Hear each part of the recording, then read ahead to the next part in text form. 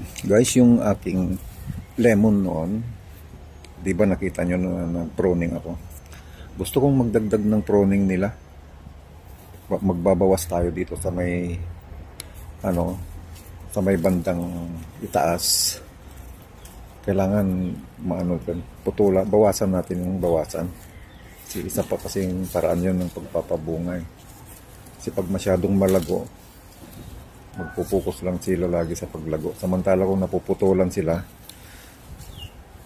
ayan ang dahilan kung bakit sila namumunga minsan. Kaya gusto kong itry yung bawasan ko ng bawasan tong ano, mga dahon nila dito sa taas. I-trim ko. At malalaman natin yung resulta pagkatapos. ang gagawin natin guys, ganito. Putulin natin. Buwasin natin itong ano. Para ayun. Mag-experiment tayo para wala namang masama yung mag-experiment tayo. Trim natin.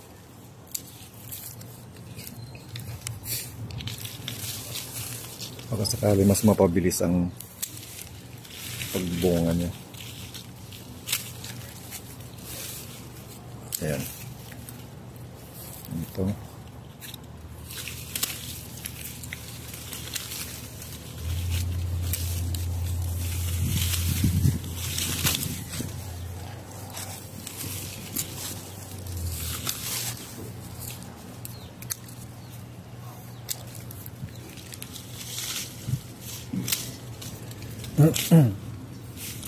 Ayan. Tapos dito tayo sa kabila. Ayan.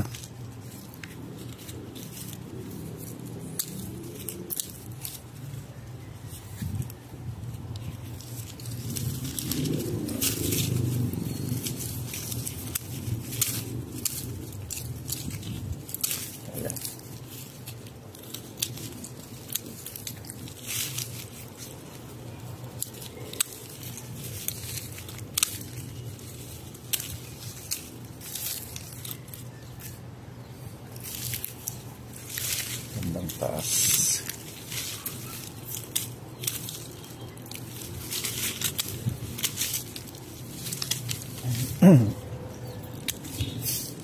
Ito kasi ang disadvantage ng nagtanim ka sa pamamagitan ng buto.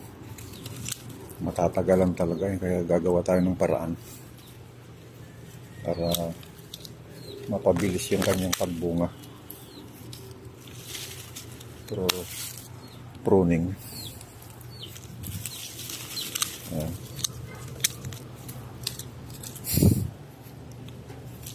Ganito ang gagawin natin. Palagi.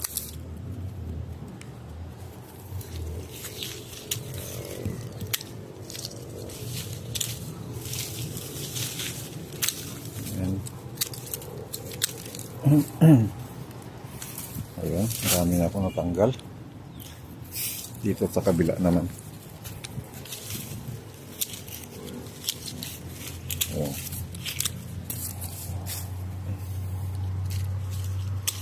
Ayan. Ayan,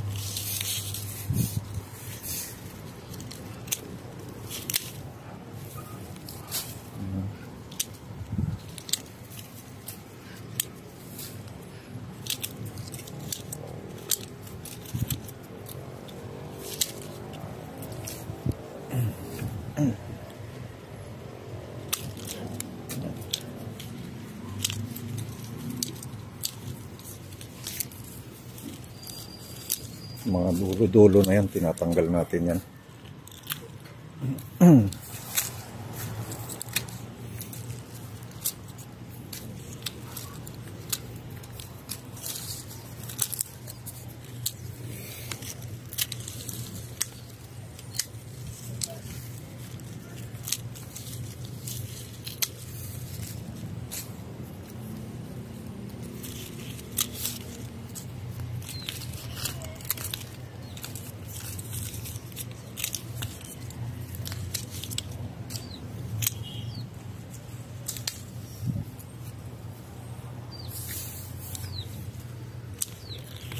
Ayan, sila.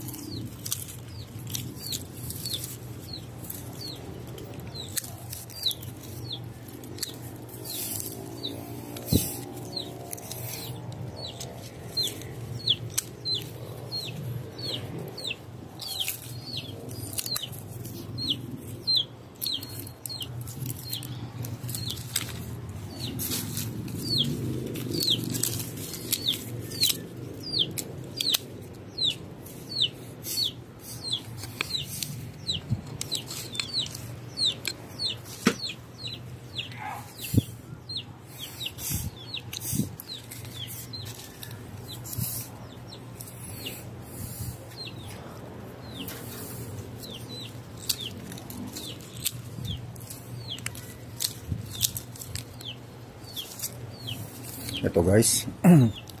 Pwede na to. Ito yung natanggal ko. Pagkarami-rami.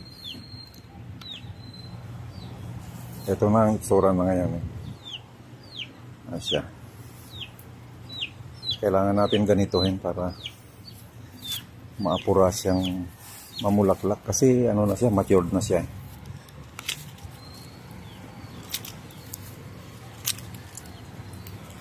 sayang kasi yung panahon eh. eh pagka mature na tapos di pa namumunga tayo na lang gagawa ng paraan para mapabilis yung kanyang pagbunga.